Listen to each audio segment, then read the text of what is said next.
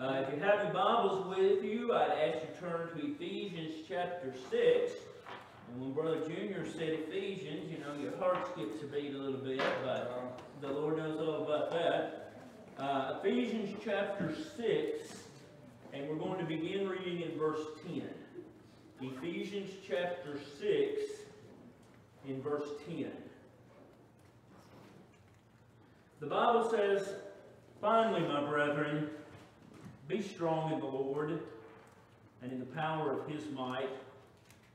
Put on the whole armor of God, that you may be able to stand against the wiles of the devil. For we wrestle not against flesh and blood, but against principalities, against powers, against rulers of the darkness of this world, against spiritual wickedness in high places. Wherefore take on wherefore take unto you the whole armor of God, that you may be able to withstand in the evil day, having done all to stand. I'll be preaching this morning, the Lord being my helper on the thought, uh, standing in the presence of the King. Dear Lord, we thank you, we praise you for your goodness and watch care. Lord, we thank you for the building that you've provided for us to meet in, Lord, and that we recognize that it's a gift from you. Lord, we pray for the upcoming meeting, Lord, that we uh, may be ready, uh, that we may lend ourselves as a servant to you. Uh, pray for the travels of all the people that will be coming. And we pray most of all, Lord, that here in the United States that we would see that there's a mission work left to do, that there's lots of people that have not uh, heard the gospel, not the true gospel, and we pray that you give us a burden for those people.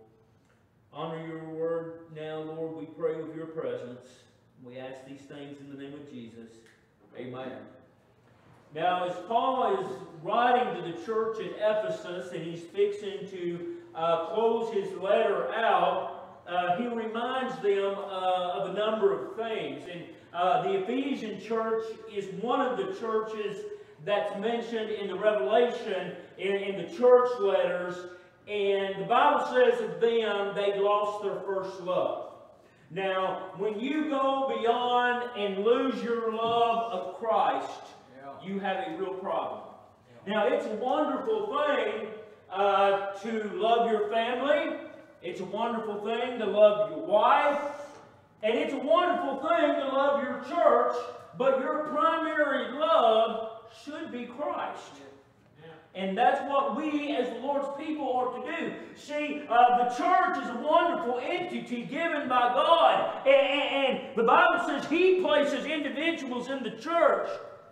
But listen, if you get thinking, the balance can tip the other way, and you can start putting the church in the Catholic Church perspective. And, and, and, so we as the Lord's people, we need to be very careful that our first love is the Lord Jesus Christ, not be like the Ephesians and leave that. So he says in verse 10, Finally, my brethren. In other words, he was talking to the redeemed. He was speaking to the beloved. He was talking to the uh, born again. And when he says brethren, he means the church, not just the male members of the church, sisters as well. I guess the only reason you never see uh, that rendered that way in the Bible because uh, it would be cistern, and that's a dry well, and we don't want we don't want the women to be called dry wells. And, and so when he says brethren, he's addressing the entirety of the church, and his desire for you and his desire for me is for you to be strong in the Lord uh, strong in the strength of someone else. See, we like to be strong in ourselves, don't we? We like to be, oh, you know, this is what I did. Well, so what? Was God in it? That, that's the question, you know. Uh, you know, it, it, never frustrates me to hear a missionary say, well, I started so-and-so church. Most certainly you did not. And if it was started, it was uh, started on the rock called Jesus, and he started and, and so then we as the Lord's people, as Paul is closing out this church, the, this letter to the church at Ephesus, his desire was not for them to be weak and to be mealy and to be taken over by the world, but rather that they would be strong in the Lord. strong in his personhood. And so he writes, Finally, my brethren, be strong in the Lord and in the power of his might. Now, you know what? If a young man is being called to the, the mission field, the first thing that swells up is I can't do it. I have this family, I have this child to take care of, I have that child to take care of. There are needs unmet, and you know what? You're ballpoint on. But you can do it in the Lord. You can do it in Him. You can't do it in yourself. That's a hopeless, that's a hopeless endeavor. But uh, in the Lord, most certainly, you can do it by His goodness and His grace. And that's what Paul was writing about. Verse 11 Put on the whole armor of God. Now, every morning, every day, every beginning, put on the whole armor. Because, see, your enemy, Satan, the devil, is looking for a small place to get into. Uh, up at the uh, fifth intercostal space, which is the space between your uh, fifth and sixth rib, about right here, if you get hit something there and it goes into the skin, you're a dead man. And you know why? Because that's where the heart is. If it goes that far in, you're just as good as dead already.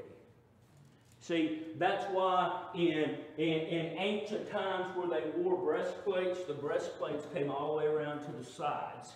Because, it, and see, what the devil wants, he wants you. Yeah. He wants you. Now, does he want your soul? No, because see, the, the devil is not an idiot. The devil probably knows more scripture than you do. And uh, he knows that your salvation is eternal, but he'll bring you down. And the reason he'll bring you down, it's a testimony to everybody you know. Because, see, they don't know the Bible, and they don't know security of Jesus, so they just assume you fell off the wagon. See, I told you it would never last. I told you that he didn't have him, he didn't have anything in him. And you know what? They rejoice in that. They're glad in that. It makes them happy. And so then we as the Lord's people, we need to understand and know that uh, we need to get it all on. Put on the whole armor of God that you may be able to stand against the wiles of the devil.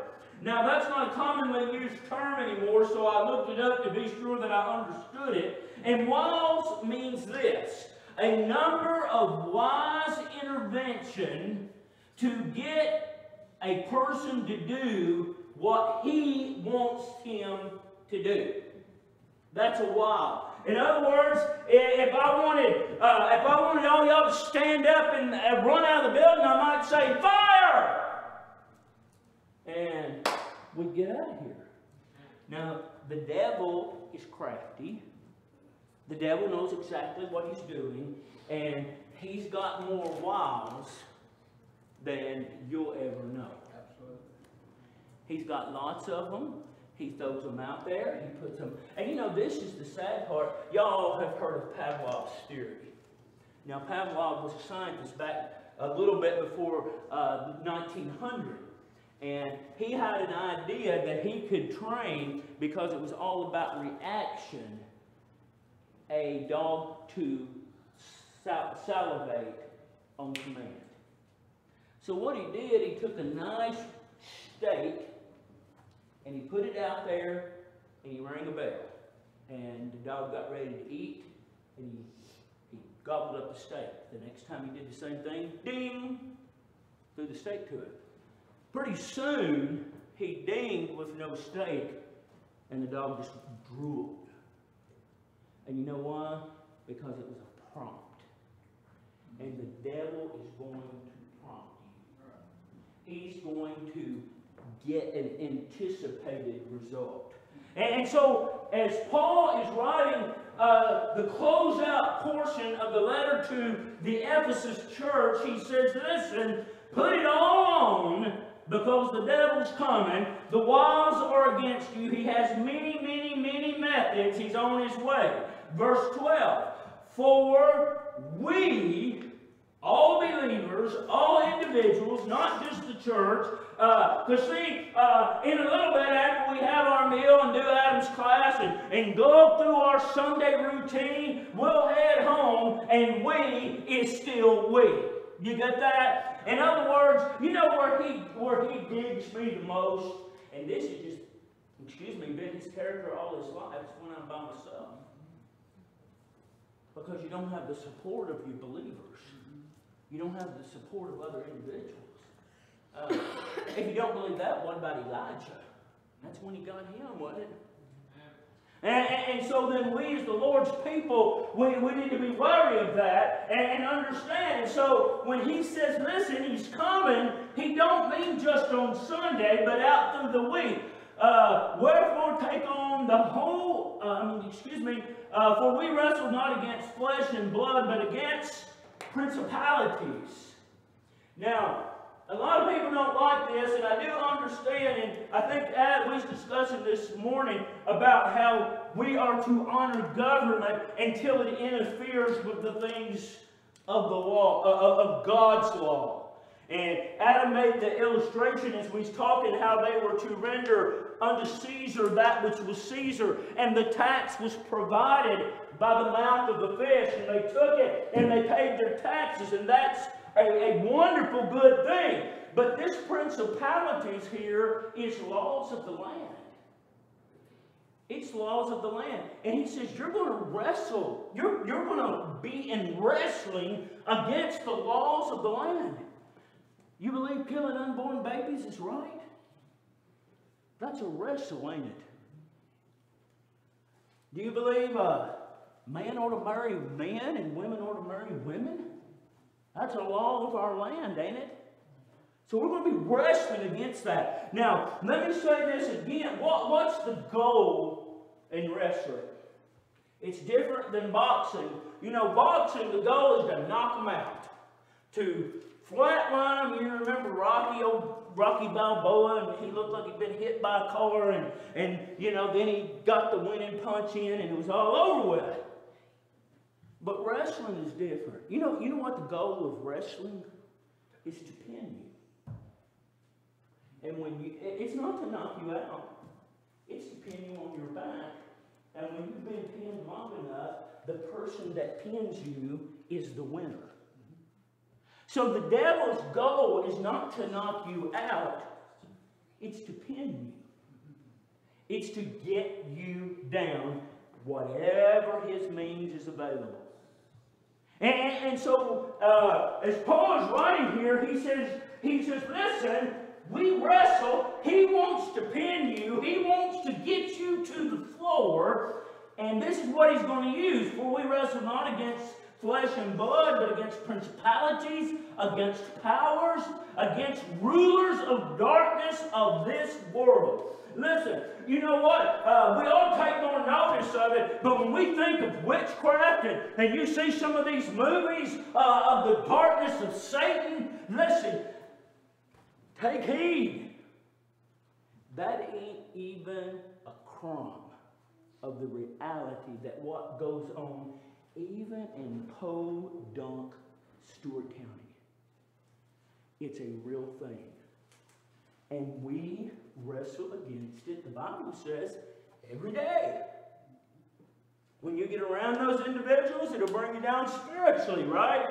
And, and, and, so we as the Lord's people, we need to understand and know that this is our circumstance and this is our situation and be aware that we are to wrestle back. Not, don't let them, you know, sometimes we get satisfied long as we're not pinning, Hey, it's okay. Well, what about pinning them back a little bit? Get them down to the ground. You be on top. You be in control. Right? We don't like to think that way, do we? Uh, you know why? Our nature as humans is to tuck tail and run. You, you, you know what was different than David? he wrestled. He said, I, have taken the, I've taken the sheep out of the lion's mouth, and I defeated him. I've taken the sheep out of the bear's mouth, and I killed him. you know what? He did it. Now, I don't know about y'all, but I'm just saying for self, if I see a lion and bear coming, I'm headed the other way. But spiritually, every day, we experience that. Now, the problem is, most of the time we don't recognize it and we write it off to nothing and don't think nothing about it. But listen, it's a reality that Ephesus went through, and it is one that we go through too. Wherefore, take unto you the whole armor of God, that you may be able to withstand in the evil day. Church, this is the evil day, very wicked day that we live in, having done all to stand. Now, what a wonderful, glorious thing. And uh, it is when I think about standing in the presence of the King. You know, this life past, this life done, all the works and worries and the difficulty that this world has, and standing one day in the presence of the Almighty and in the presence of the Lord Jesus Christ, having done all to stand. See, that's what we ought to be crying. You know what keeps me going in a very dismal world is that very thought. You know what keeps missionaries still saying yes in the light of everything else is that very thing. Standing in the presence of the King. Got a new missionary, he's coming August I can't remember. Going to Thailand, going to work with, uh, with Brother Green down there. Brother Green, I think, is 88. See, very soon he's going to have to pass the baton. And you know what? There's a young man from Cincinnati, Ohio. He said, I'll pick it up. See, standing. And, and what, what's the driving force? You know what? We need to wake up to the reality. One day, we're going to stand before the Almighty. Yeah. And, you know, well, I was, I was worried about that we wouldn't have a, we wouldn't have a cell phone, so I just couldn't do it. You know what? You know how flimsy that sounds? In the presence of the Almighty that just said, go. Going to be a pretty lame excuse, is it not? Going to be pretty sad to see. But you know what? I have no doubt there'll be many of us that try to come up with something uh, to replace this. So, what are you going to do when you're standing in front of the king. Now, the way that I understand these scriptures, if I get them right, if you have done all to stand, it's going to be pretty good. But listen, if you were a compromiser and, and, and, you agreed to the earth and you left times when you didn't put the breastplate on and you got broadsided, you know what? You're accountable for that. Everybody would say, well, it wasn't my fault. You know, Matthew was making uh, uh, alludements to this today in, in the generation which we live, and was talking about the future generation, generation of my grandchildren. And nothing is every anyone's fault anymore.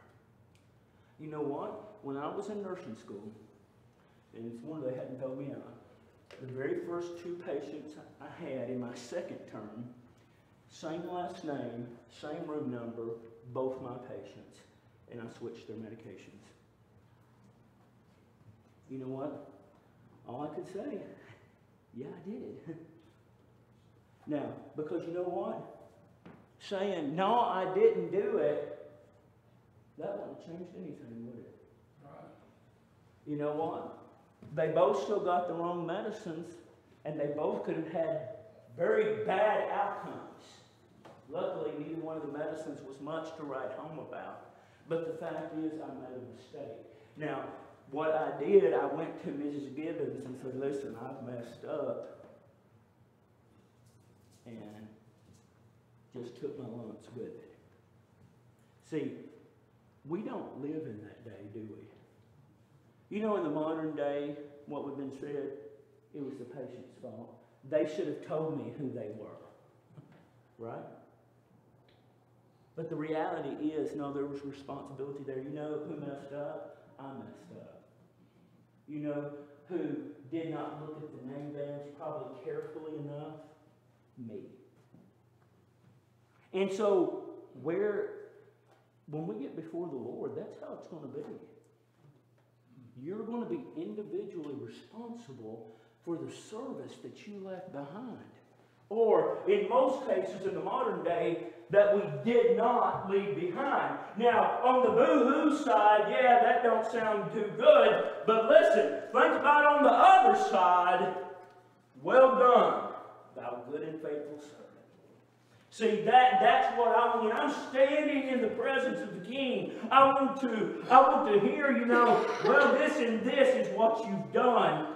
You were faithful. You know what? Uh, nothing to write home about, nothing to say about. Uh, what little bit I've tried to serve the Lord, but I want it to be, I want it to be service uh, to the King. Go into the, the book of Job, and I want to show you a couple of facts here. Job uh, chapter 1 verse 6. Job chapter 1 and verse 6. The Bible says this Now there was a day when the sons of God came to present themselves before the Lord, and Satan came also among them. Now, I want you to notice two things. What, what most people will jump over and don't get out of these verses is the fact that everyone is accountable. Every one of them stood before God, including Satan. Now, he wasn't there to cause up trouble, and I've heard that preached. You know why he was there? Because he was a created being, and he was just as accountable to God as Job was. He was a created being, and he was just as accountable as the other angels of God. He was accountable to God uh, they stood before him to answer to him. Now, see, we need to learn accountability in this day. Oftentimes, when Bella has done something wrong and it's time for the rod to come out, I'll say, Bella, why did you do that? And you know why? It's accountability. You know, just the fact that she gets her tail whacked is nothing. But if she thinks about it and says, why did I do that? That wasn't very bright. I knew mama and daddy would not like that. Why did I do that? Then she becomes accountable. and so we find here that that's exactly what it will be in the last day judgment. Why? Because He's the Creator. We are His beings, and we are accountable to Him, whether saved or unsaved. You will answer for yourself. Uh, Job 2 in the first verse, just to show you that this is a routine event. And again, there was uh, a day when the sons of God came to present themselves before the Lord, and Satan came also among them, so to present himself before the Lord. So again, saved or lost, you're accountable to God. And you will give an answer. You will, you, you will give a, a feedback on what you've done the book of Daniel, chapter 9. Daniel 9 and verse 20. Daniel 9 and verse 20. Daniel speaking of himself says, and whilst I was and whilst I was speaking and praying and confessing my sin. Now he does three different things there speaking, praying, and confessing. Now, I want you to see that not only did Daniel have a, a, personal burden for himself, but he also had a burden for all the nation of Israel, and he was praying on their behalf. You know what? Uh, fathers, uh, we need to have a burden for our family, and we need to be interceding on their behalf, and we need to be going to prayer for them. You know what? Our nation is a wicked place to live, and we can fuss all day long about Nancy Pelosi, but you know what? Our problem is this just pray for the nation. You know what? You're not going to change Nancy Pelosi, but I know one that can. And, and so we as the Lord's people, we need to we need to really get a hold of that truth this morning and pray like Daniel prayed and have an interest in it. Verse 21, and yea, while I was speaking in prayer, even the man Gabriel, whom I whom I had seen in a vision at the beginning, being caused to fly swiftly, touched me about the time of even oblation. And he informed me and talked with me and said, Oh, Daniel, I'm come forth to give thee skill and understanding. Now, you talk about standing and praying. You know what? I've not seen the Lord Jesus Christ manually yet, but I will. I look forward to the day when these eyes literally behold the face of the Lord Jesus Christ. And and, and this this Daniel, he saw Gabriel. The very, the very one that came to Mary and said, Hail, hail, thou art highly favored among women. He saw, he saw the angel Gabriel. And uh, you know what? It made a it made an everlasting impact on Daniel's life. See, when, when we have an interest, we'll see the person of Christ. Now, we're not going to see him fleshly. I'm not going Pentecostal on you. But we'll see, we'll, see his nature. We, we'll, we'll see everything that impacts the sinlessness of Christ and the goodness of Christ and who he is in sacrificial offering. We'll see it all when we get close to it. Acts chapter 23.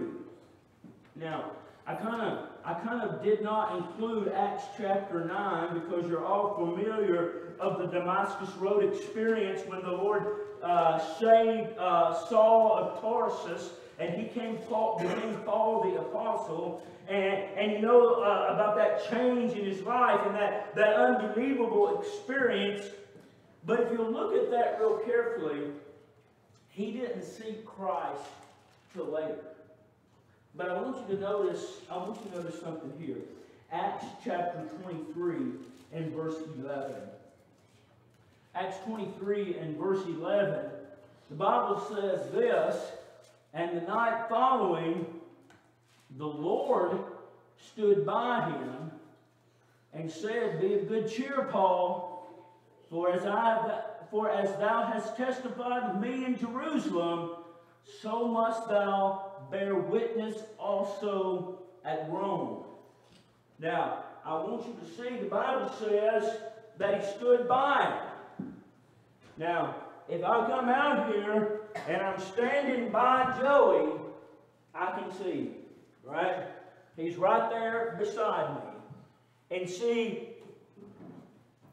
can you imagine that experience. See, see that, that experience of seeing Christ, you know what? It gives him the fuel to place his head on the chopping block. Yeah. See, to see Christ. Can you imagine the deity and the beauty that is in the person of the Lord Jesus Christ? It, it's just beyond my imagination. And I'm going to be standing there one day. standing in the presence of the Almighty, standing in the presence of the King.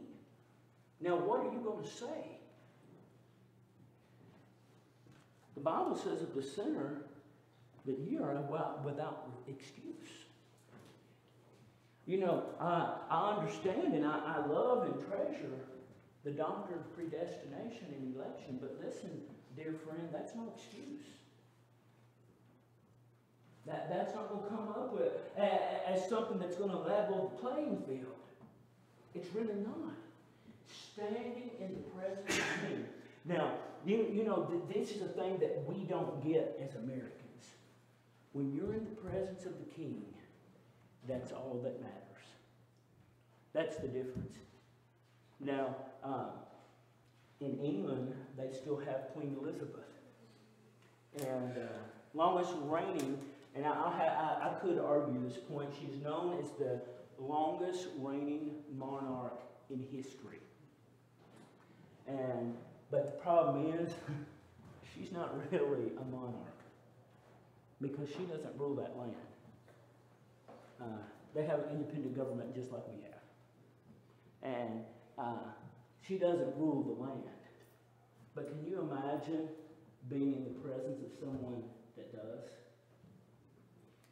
You remember, and he wasn't a very high government official, but he came to the Lord Jesus Christ at night, and he was begging for the life of his daughter. And he said, I'm a man in authority.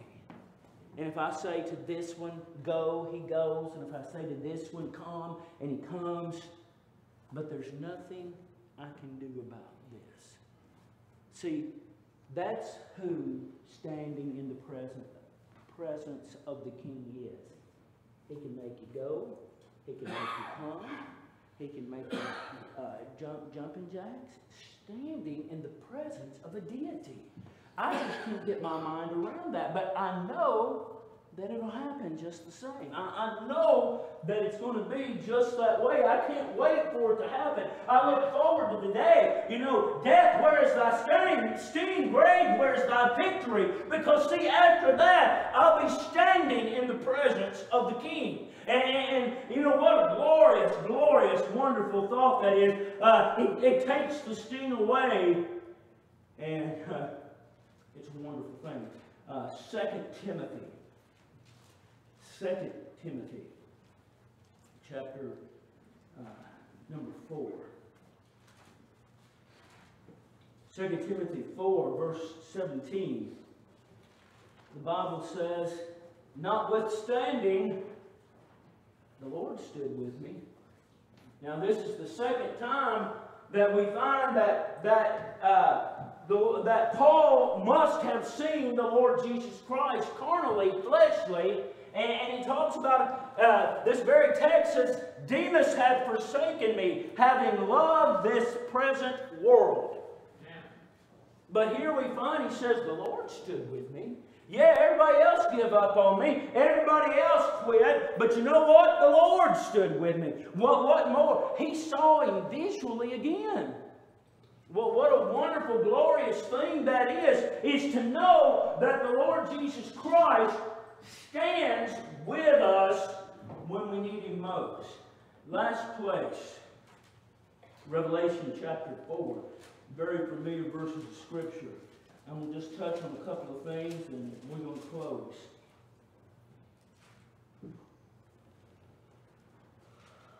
Revelation chapter 4. John writing, he says, And after this, and that was the, le- the church letters, and after this, look, I looked, and behold, a door was opened to me in heaven. And the voice which I heard was a, was a voice of a trumpet talking with me, which said, Come up hither, and I will shew thee things which must be hereafter. And immediately I was in the Spirit, and behold, a throne was set in heaven, and one that sat on the throne. Now, the one sitting here on the throne is the Almighty. The one sitting on this throne was the great God Jehovah. The one sitting on this throne was none other than the person of God. And we find that John was able to visualize it and put it all together. Can you imagine seeing who he was?